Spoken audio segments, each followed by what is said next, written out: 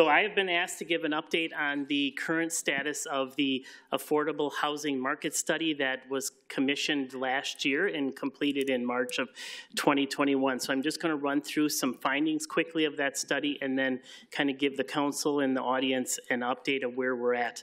So you'll recall some of these, those that have been on the council have seen these diagrams before, but uh, that the study found that there is a lack of uh, supply of affordable housing in the community. And this graph before you shows the total housing units by type for Sheboygan County. So the red shows single family, the blue is multifamily. At the bottom of the chart, it's from 1990 to 2018, and you can see that after we came out of the recession in about 2010, um, we've never uh, really recapped or, or, gained momentum from where we were in the 90s and the early 2000s on housing.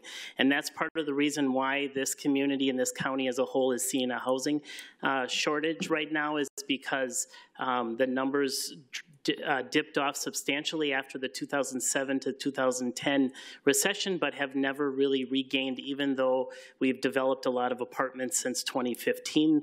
Um, our multifamily numbers are nowhere near where we were in the 90s. Likewise, when we look at the rental unit vacancy in this chart, the um, area, uh, the green uh, bar is the city of Sheboygan at 3.3 uh, percent uh, vacancy the typical vacancy rate for uh, a good supply and demand is between 5 and 7 percent. Um, the city of Plymouth, the second bar is 6.4 percent. Uh, Sheboygan Falls is 0 uh, percent. Village of Kohler is 0 percent, and the county as a whole is 2.9 percent. And this is data as of December 31st of 2020. So there's definitely demand for additional housing.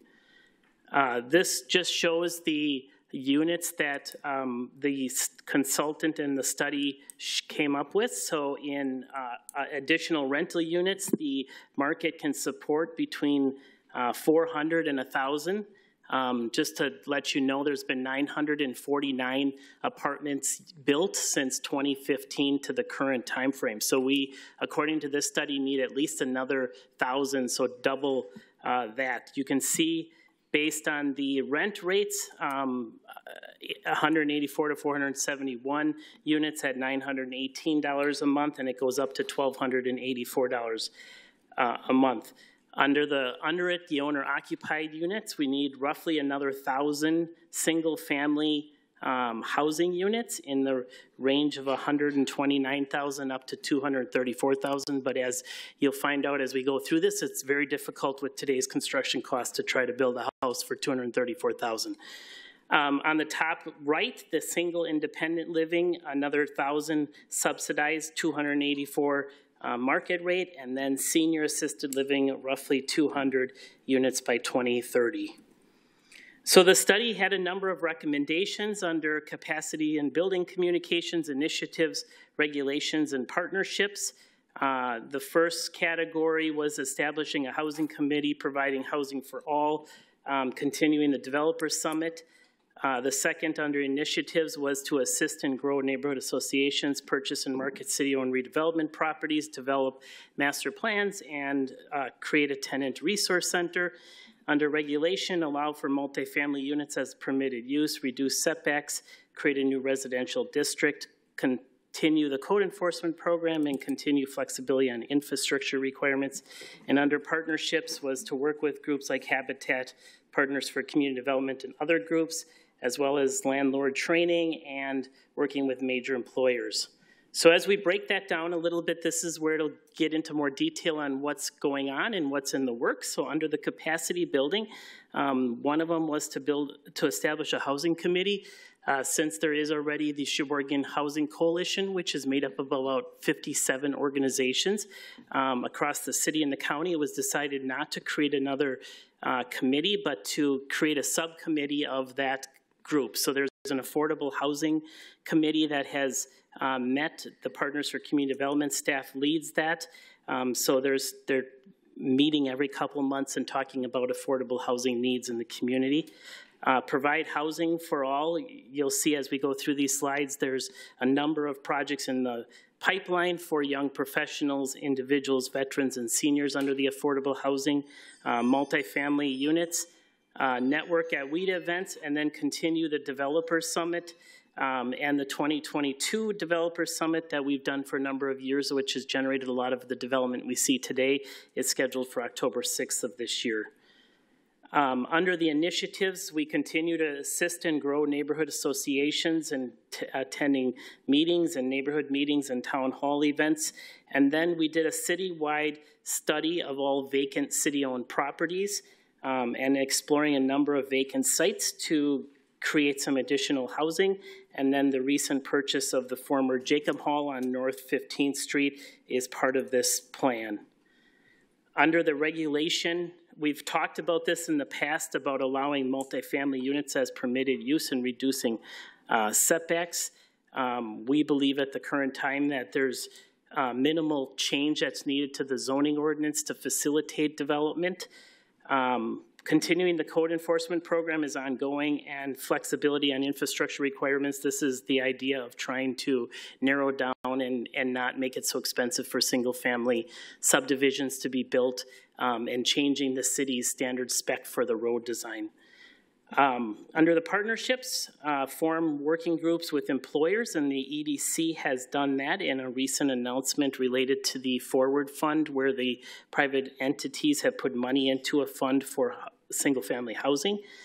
Uh, continuing the landlord education program, we've done two sessions in partnership with the police department in the spring and fall for the last few years and have that scheduled again for this year. Um, and then support Habitat for Humanity, Partners for Community Development, and other uh, uh, groups, and we do that through the Community Development Block Grant dollars. So just looking at the current status of the number of projects that have come before you during a number of different meetings, the Commonwealth development that's planned at the corner of 14th and Indiana was the first affordable housing project. It's 48 units, um, $12 million construction. It applied for WHEDA low-income tax credits, and it's the only project in the city that was awarded tax credits. So this project will be moving forward later this year. Um, the city would also be under the plan providing some American Rescue Plan Act funds to help with the uh, construction cost differentials. The second project is a Partners for Community Development project, and that's this is on the corner of 13th and sorry 13th and Erie, uh, east of the Burger King. Um, that project will be applying for WHEDA tax credits um, and also some city funds and some state funds under some grant programs. This is 44 units dedicated to families, individuals, and veterans. And then the last project is on some redevelopment authority owned land, the former Kepsel property on the river west of Pacifico. Um, General Capital's proposing a number of buildings, um, including affordable live work units, and then uh, 55 and older units up to 100 uh, units. This was a $26 million project. It applied for WHEDA tax credits and they did not get an allocation. So they are in the process of rerunning their numbers to see if there's an opportunity to still move this project forward. Um, and the project would present opportunities, hopefully, for older, uh, the older population that are living in their homes to give them more of a um, opportunity for moving out of their home and opening up some housing stock in our neighborhoods. One of the other uh, study recommendations is to purchase and market city-owned redevelopment properties. Uh, so this is the uh, former, former Jacob Hall on North 15th across from fire station number three. Um, so the city is right now working to uh, complete lead and asbestos removal and Bernie has bids for demolition. So they, it will be moving to demolish that entire uh, property. It opens up an opportunity for about one and a half acres of redevelopment.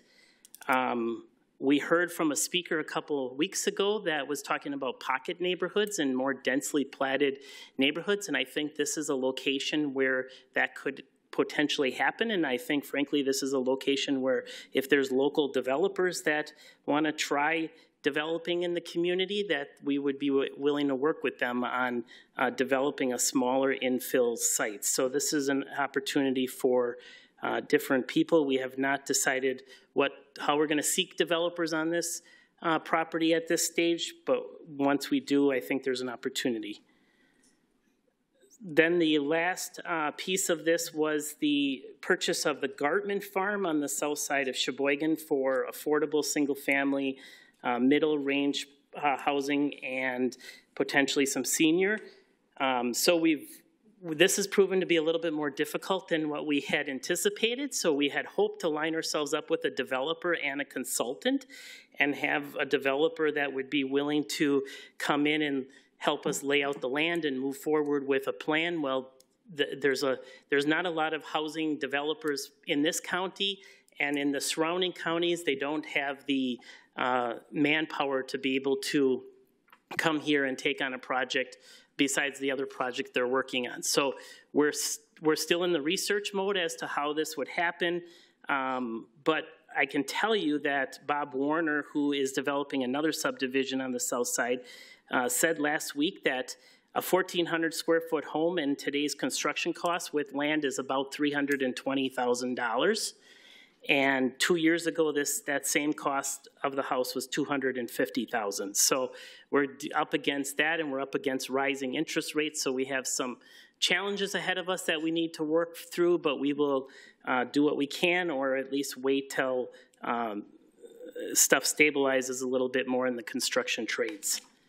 So this was the property um, of the Gartman Farm on the south side um, it, it is adjacent to the Polth Farm that the city has owned for a number of years and would be part of that development.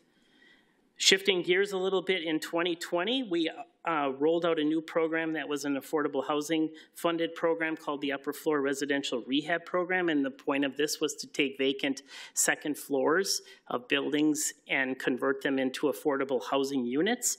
Um, so since 2020, we've created created 13 affordable units. The city has invested about 242,000 in grant funds um, that have been leveraged against owner investment of about 477,000 for a total of about $719,000.